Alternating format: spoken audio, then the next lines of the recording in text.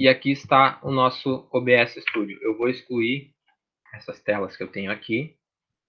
Mas o que, é importante para nós? Aqui parece ser um pouco complicado, mas na verdade uh, é bem simples uh, como funciona esse programa. Nós temos aqui as cenas, que é aquilo que a gente quer mostrar. Eu vou adicionar uma cena aqui para vocês. Essa, essa cena vai se chamar Screencast. Está aparecendo o programa para todo mundo aí? Eu adicionei uma cena. Como eu adiciono uma cena? Com o botão direito aqui eu posso vir em adicionar na tela de cenas, ou eu simplesmente posso clicar aqui nesse símbolozinho demais que ele também vai aparecer a mesma opção de criar uma cena, adicionar uma cena. Agora, nessa cena que a gente selecionou, que a gente quis criar, a gente vai em fontes. O que, que é a fonte? É da onde ele vai tirar o material que ele vai projetar.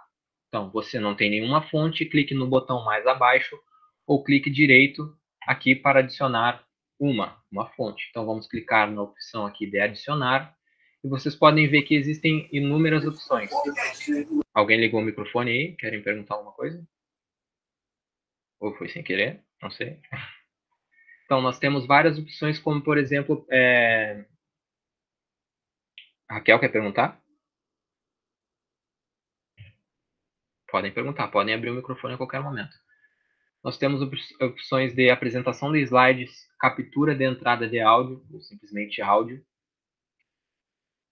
captura de janela, captura de saída de áudio, captura de jogo, captura de tela. Ó, essa é a opção que vai ser interessante para a gente. Captura de tela, que é o famoso screencast que a gente está vendo aqui. Cria, é, apertamos em captura de tela, vai aparecer para a gente criar uma nova, uma nova fonte. Nós vamos colocar então aqui, por exemplo, vídeo aula, que é aquela aula que o professor quer fazer. Dei um nome, vou clicar em OK. O nome já está em uso, então a gente coloca vídeo aula 1. Sem problemas. Vai aparecer aqui o monitor que a gente quer escolher, como eu tenho só um monitor, uh, vai aparecer simplesmente esse. Vocês podem ver aqui ó, que já aparece uma pré-visualização um efeito meio infinito, né? porque ele está espelhando, né? fazendo efeito, então, o espelhamento da minha tela. Vamos clicar em OK. Aqui tem uma pré-visualização daquilo que ele está captando. Vocês podem ver aqui, ó, que onde tem um microfone, ele está, está sensível à minha voz. Aqui a gente tem a opção também, assim como no Flashback Recorder, de capturar o som uh, do nosso computador, da saída do nosso computador. Se eu, estou, se eu quero, por exemplo, é, mostrar uma música durante a, a minha videoaula ou um vídeo. Então a gente pode capturar é, o áudio do nosso computador. E o nosso microfone que vai fazer a nossa narração. Para iniciar uma gravação, então, a gente simplesmente aperta esse botão iniciar gravação aqui na direita, ok? E aí, agora aparece o símbolozinho aqui, ó, esse círculo vermelho embaixo. E a, a palavra REC aqui, de Recorder.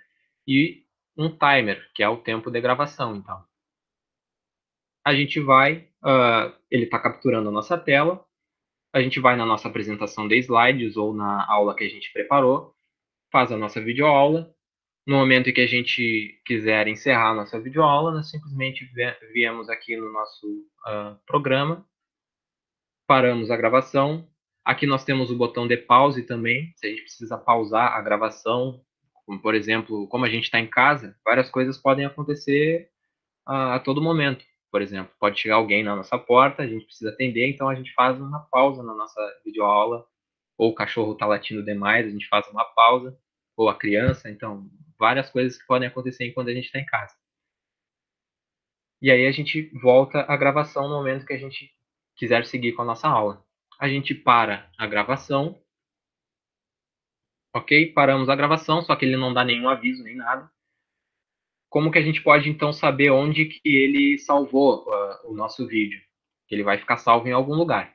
Aqui em configurações, então, logo embaixo da, do iniciar gravação, terceira opção onde diz saída, assim que ele vai aparecer. Aqui onde diz gravação uh, e caminho de gravação é o local onde os vídeos que a gente cria estarão salvos. Então, a gente tem aqui a pasta C, usuários, Carlos, que é o meu nome, então, e vídeos. Então, é na pasta de vídeo do nosso computador que vai estar salvo essa videoaula. Vocês podem uh, localizar, vocês podem trocar esse local, vocês criam uma pasta, por exemplo, com o nome de videoaulas, e vocês podem fazer a troca uh, desse local de gravação, desse caminho de gravação. Ok? Uh, esse programa, então, é isso. A interface dele está toda em português. é bem simples também, o mesmo, mesmo estilo do Flashback Recorder, só que ele tem uma interface mais pouquinho maior que o Flashback Recorder, ok?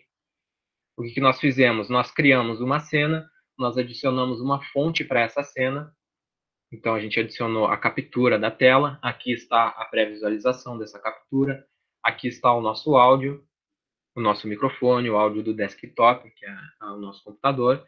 A gente vai iniciar a gravação. No momento que a gente quiser parar a gravação, nós vamos em parar a gravação ele é bem uh, intuitivo, então, esse programa.